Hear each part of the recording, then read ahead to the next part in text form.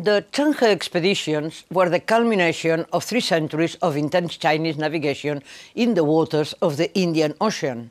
And by the beginning of the 15th century, both Europe and China were beginning to notice their mutual presence at the extreme ends of the Eurasian continent.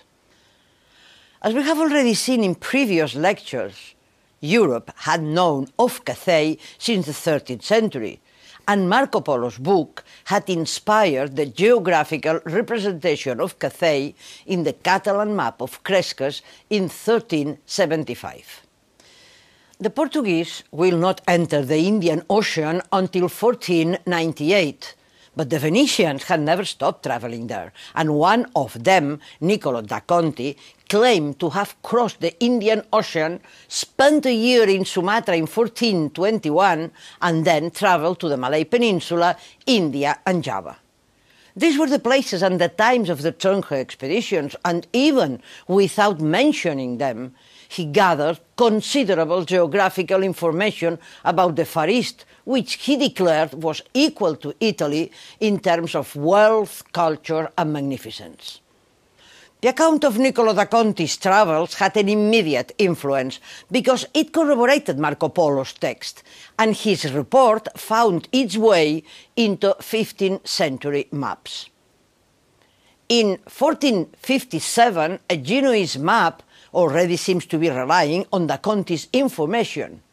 But the most important cartographic piece to build upon da Conti's travels will be the map of the Venetian monk Fra Mauro, drawn in 1460. Why is Fra Mauro's map so important in understanding what Europe knew about Asia in the 15th century? This map departs completely from both the medieval maps and Ptolemy's map which had just been rediscovered. Compared with the Catalan map, drawn 70 years before, it is a much more matter of fact map. It lacks both the lavish illustration and mythic figures that embellish the Catalan map, and is a much more comprehensive view of the known world, showing clearly the recognizable contours of Europe, Africa, and Asia. Even the paradise, that in medieval times was always a definite and central part of the map, appears now off the limits of the map, which amounts to being off the limits of the earth lingering in one of its corners. The beautiful walled paradise is no longer a real place to look at. In the other corner of the map, we see a geocentric diagram of the universe, with the Earth at its center and the planets, the moon, and the sun turning around it. Even if it follows a classical geocentric view of the universe, its placement at the corner of the map reminds us that the Earth is now just a part of a much bigger cosmos. Furthermore, some elements signal this map as a turning point in Europe's knowledge of the route to Asia. Let's now compare Fra Mauro's map with the highly influential Ptolemy's map, as it was drawn in the 14th century, because it is quite doubtful that Ptolemy himself ever drew any map. Fra Mauro's map certainly follows some of the Ptolemaic conventions. It overexpands the size of Asia and it minimizes the oceans. In both maps, the only important seas are the Mediterranean and the Indian Ocean, and no place is left for the Atlantic or the Pacific Oceans. But Fra Mauro's map departs in some crucial points from Ptolemy's map. The Indian Ocean now appears open and connected by sea with the Atlantic Ocean, while in Ptolemy's map, the Indian Ocean was landlocked, with Africa welded to an enormous Antarctic continent. Notice that the round point of Africa appears clearly albeit pointing to the east, as was also the case in the Genoese map. As we can see, a Chinese junk is rounding the Cape of Good Hope and has a long explanatory inscription close to it.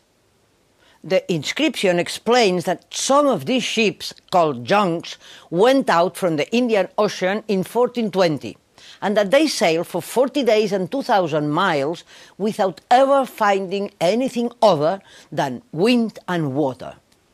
The map contains very detailed images of Chinese junks, together with an explanation saying that these junks carry four masts or more, that can be raised or lowered, and that have 40 to 60 cabins for the merchants. Let's remember that 1420 was the year when both Niccolo da Conti and the fleets of Cheng He, with junks like this one, described by Fra Mauro, were crisscrossing the Indian Ocean. Fra Mauro's map also shows a much more thorough knowledge of the Far East. Ceylon, Sumatra, and Java are nearly depicted, and so is a small Japan called Cimpangou after Marco Polo's Cipango. This is the first appearance of Japan on Western maps. But Fra Mauro's East Asia lacks the accuracy of his Indian Ocean. He can't count any more with direct and reliable information that he could check. His only source seems to be Marco Polo and his own imagination. A very rich urban civilization spreads around the Cathay's label. Its capital, Cambalik, displays a highly European architecture with silhouettes reminding the Tower of Pisa, the Roman columns, and the Duomos of Italian cities. And three luxurious nomadic tents exhibit their richness. But by now, its Mongol owners had already been gone for almost a century.